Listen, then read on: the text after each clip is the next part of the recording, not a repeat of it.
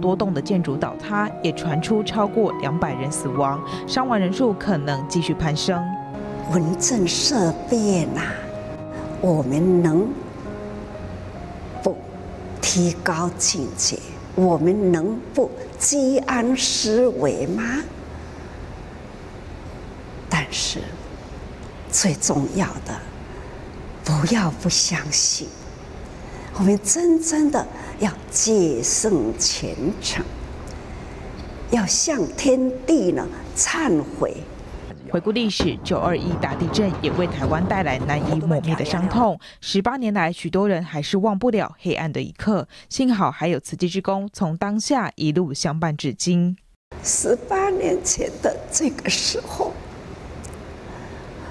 这我们是怎么样的熬过来？多么冗长的时间，这步步艰辛。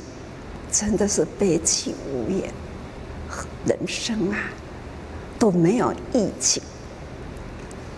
不要执着，我们真正的放下了烦恼无明啊，提起了最胜虔诚。滴答不调，无常总在瞬息之间，也期待人人时时刻刻感恩，更要居安思危。大家新闻，杨杰、听刘宏志，花莲报道。